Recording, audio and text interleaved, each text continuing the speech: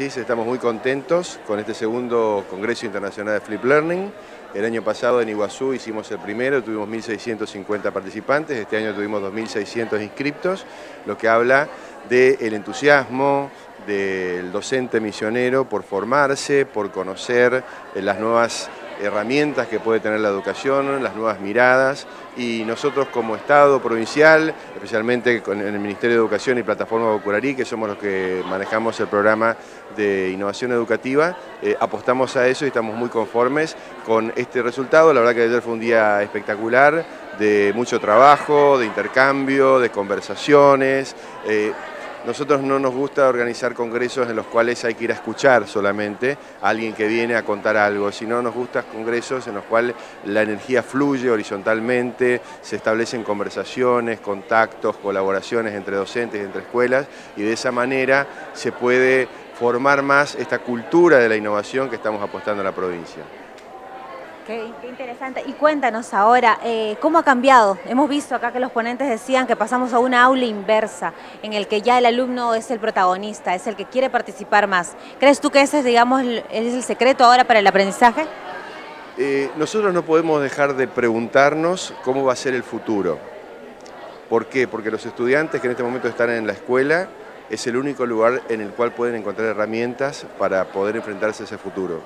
Entonces, eh, es tan cambiante el futuro, eh, lo, que, lo que estamos viviendo en este presente, que también es sin certezas, de incertidumbre, que la escuela debe cambiar.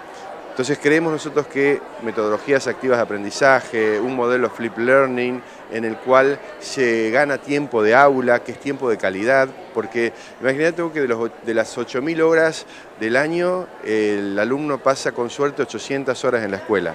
Es decir, que tiene 7.200 horas en las cuales está fuera de la escuela. Está con su familia, está haciendo sus actividades. Entonces, la escuela por sí sola no le puede dar esas herramientas.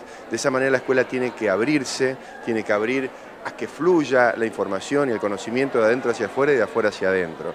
Entonces, el modelo Flip Learning al que nosotros estamos apostando y que los docentes lo están tomando con tanta pasión, muchos, algunos con, extrañeza, algunos con curiosidad, eh, nos permite, mediante la inversión del proceso de enseñanza-aprendizaje, tener tiempo de calidad, mejor tiempo de calidad en el aula, porque el alumno tiene a su lado el mejor recurso que tiene la educación, que es el docente.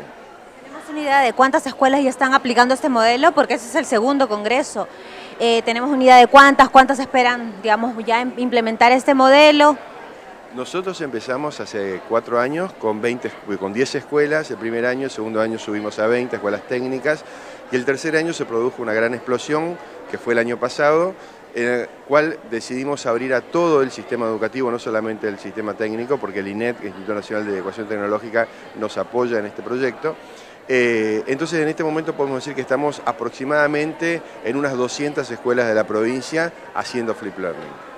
¿En alguna, digamos, en, alguna localidad en especial? ¿Se concentra más en Posadas o en general? No, no, no. Lo bueno de esto también es que es muy federal, digamos, para adentro. No, es, no se concentra en las ciudades grandes de la provincia.